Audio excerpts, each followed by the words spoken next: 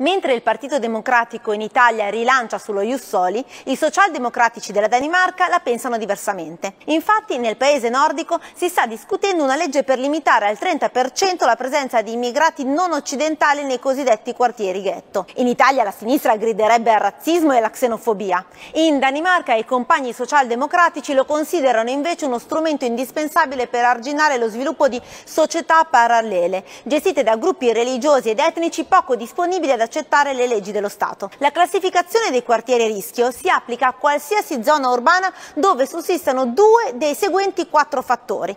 La presenza del 40% di disoccupati, una criminalità tripla rispetto alla media nazionale, stipendi lordi inferiori al del 55% della media e poi un 60% di residenti tra i 39 e i 50 anni senza diploma superiore. Dati che sono vicini a molte periferie delle nostre città, sempre più simili a ghetti grazie alle politiche di accoglienza senza freni volute dalla sinistra. Il tentativo, diciamo, di bonifica delle periferie si affianca ai drastici provvedimenti già introdotti dalla socialdemocrazia danese per controllare l'immigrazione e imporre un limite a moschee e predicatori islamisti. Norme di buon senso per cercare di arginare fenomeni di insicurezza ed estremismo. Ma per la sinistra italiana bisogna accogliere tutti, delinquenti compresi, e bisogna chiudere un occhio anche di fronte al degrado e al disagio sociale delle periferie ghetto.